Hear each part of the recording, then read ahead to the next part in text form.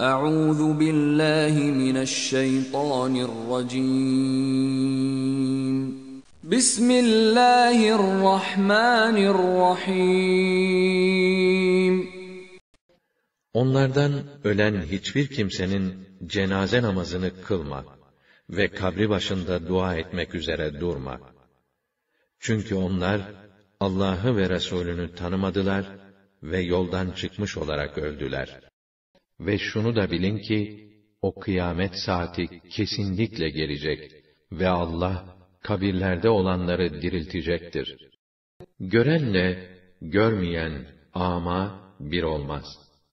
Karanlıklarla aydınlık, gölge ile sıcak, dirilerle ölüler de bir olmaz. Allah, dilediği kimseye hakkı işittirir. Sen kabirde olanlara sesini elbette işittiremezsin. Sura üflendi. Kalk borusu çaldı. İşte mezarlarından kalkıp, Rablerinin huzurunda duruşmaya koşuyorlar. Gözleri korkudan önlerine eğildikçe eğilmiş, dehşet içinde mezarlarından çıkar, yayılmış çekirgeler gibi her tarafı dalga dalga kaplarlar. Ey iman edenler! Allah'ın kendilerine gazap ettiği bir güruhu dost edinmeyin. Onlar ki, ölüp kabre giren bir kafir nasıl ahiret mutluluğundan ümidini kesmişse, kendileri de ahiretten öyle ümitlerini kesmişlerdir.'' O gün onlar kabirlerinden çıkıp süratle sanki bir hedefe varmak istercesine koşarlar.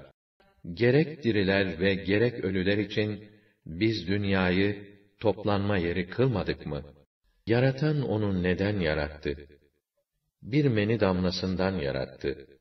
Yarattı ve güzel bir biçim verdi. Sonra da hayat yolunu kolaylaştırdı. En sonunda da onu öldürür ve kabre koyar. Daha sonra da istediği zaman onu diriltir.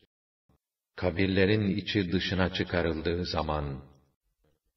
Peki o insan kendisinin ve malının akıbetini hala bilip anlamayacak mı?